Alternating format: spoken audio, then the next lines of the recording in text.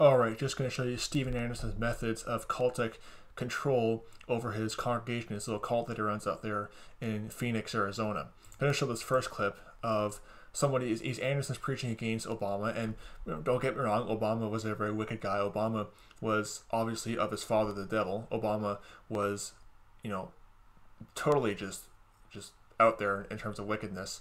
Uh, but watches Anderson is preaching against Obama, and somebody objects, and then Anderson just screams at him, "Get the you know H out of my church." Uses profanity, and he says "my church" too, by the way, which is kind of funny. But watch this.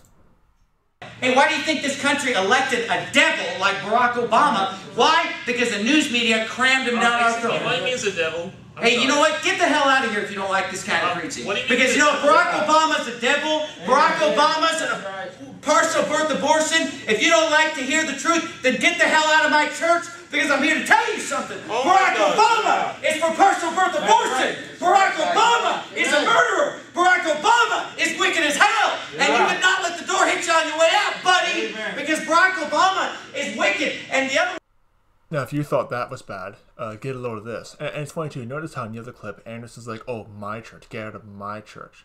Uh, I thought Jesus Christ runs the church. Oh no, no, sorry, it's, it's the man of God, the pastor. That it's my church, basically. Okay. Now watch this next clip. If you thought that was bad, check out this next one where Anderson's preaching and some guy walks up and and asks for prayer basically, and Anderson just screams, "Get out of here!" And his, his goons jump up and just grab the guy and, and drag him out there on his on his feet or whatever. Okay, watch this. Hey, sit down. Sit down. What are you What are you coming up here to do? You want You want to come take over the service? Huh? What What do you want? What? I just want a prayer read. Get out of here. Can I get Can I get a little grace? No, no you can't. No, you, you get out of here. Get him out of here. Drag this bozo out. Pull him out. Hey, help him out. Get him out. Let him walk. Walk in the zone and we'll get him out of here real quick.